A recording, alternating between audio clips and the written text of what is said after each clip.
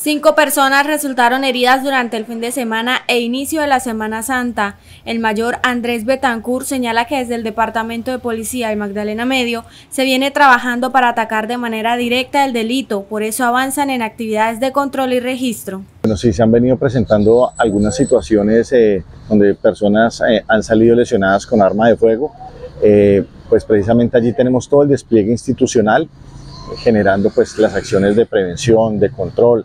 Eh, se han dado algunos resultados también, eh, unas capturas que pues nos permiten eh, reaccionar ante, estas ante estas situaciones diversas eh, algunas de estas personas presentan eh, antecedentes, pues se avanzan las investigaciones con el fin de establecer los responsables o los móviles pues, de estos desafortunados hechos. Pero seguimos haciendo los controles, seguimos haciendo plan de motocicletas, seguimos realizando control de establecimientos comerciales, seguimos haciendo identificación de personas, bueno, todas las tareas eh, que pues allí generan el servicio de policía zonas afectadas por consumo, allí las estamos interviniendo constantemente, donde pues comento, se han arrojado algunos resultados operacionales. El mayor dio a conocer el estado de salud de estas personas que resultaron heridas, no de gravedad.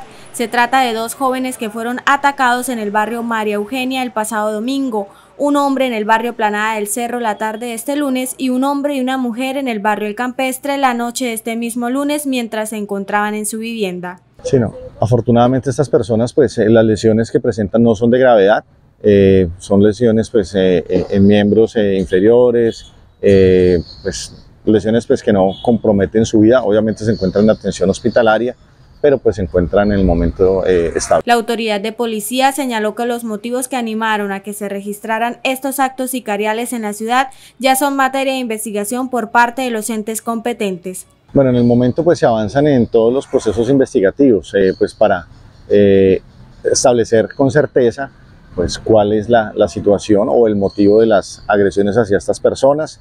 Eh, policía judicial, el CTI, personal de inteligencia desplegado allí en los sectores, en los entornos, haciendo su labor con el fin de establecer responsables de este hecho desafortunado. La comunidad de Barranca Bermeja espera que estos hechos que afectan la seguridad y tranquilidad no se continúen presentando durante esta Semana Mayor.